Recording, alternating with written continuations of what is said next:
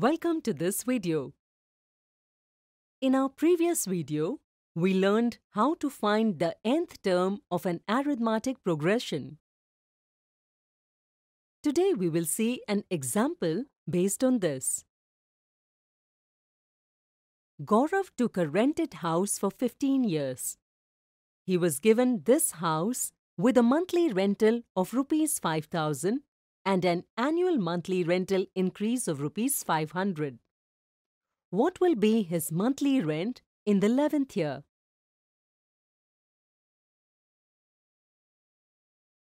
The monthly rent for the first year will be rupees 5000. Can you find the monthly rent for the second year? Well done. It is very easy.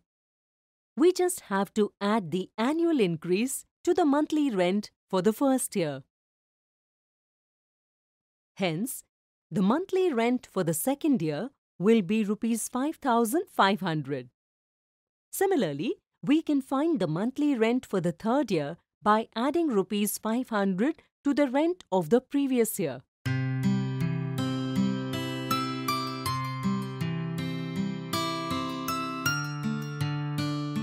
Similarly, we can also find the monthly rent for the fourth year.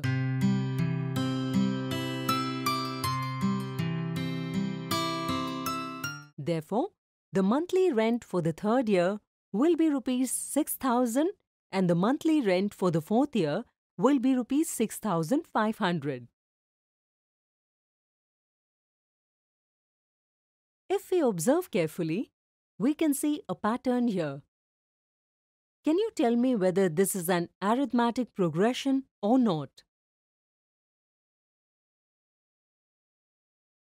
Well done! This is an AP. We have to find the monthly rent for the 11th year. Now, tell me what will we do to find the value for the 11th year? Absolutely right. Now we will use the formula for the nth term an or the general term of an AP. Here, the first term A equals to 5000, the common difference D is 500 and N equals to 11.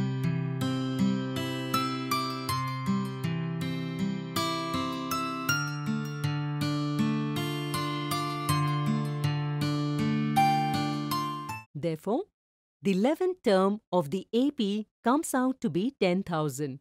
So, the monthly rent for the 11th year will be rupees 10,000.